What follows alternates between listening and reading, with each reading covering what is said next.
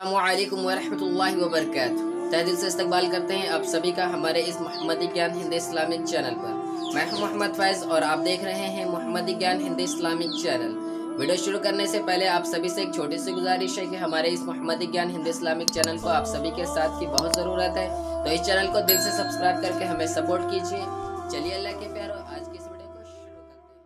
मेरे दिनी भाई और बहनों, आज के इस वीडियो में हम एक ऐसी इसमें आज़म वाली दुआ आपकी खिदमत में लेकर हाजिर हुए हैं, जिस दुआ के बारे में हमारे नबी करीम मोहम्मद सल्लल्लाहु अलैहि वसल्लम ने अल्लाह की कसम खाकर फरमाया की ये ऐसी दुआ है जिसे पढ़कर मांगने वाले की दुआ कबूल होती है। जब मांगेगा, उसे अल्लाह ताला अता फरमा देगा। हज़रत अनस इबन मालिक रज़ी अल्लाह तु फरमाते हैं कि, हुजूर नबी करीम सल्लल्लाहु अलैहि वसल्लम की मजलिस में मैं हाजिर था। एक आदमी नमाज़ पढ़ रहा था। जब उस आदमी ने रुकू और सजदा किया और तशाहुद पढ़ा के बाद उस आदमी ने अपनी दुआ में इसको पढ़ा।